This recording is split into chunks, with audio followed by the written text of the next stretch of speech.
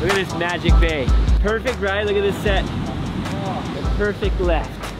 Today it's one of these days where everywhere is firing. We got three world-class waves, one after the other. Now, Ericeira is like the Portuguese North Shore. You can surf low tide, high tide, left, right, barrel turns. You can do anything.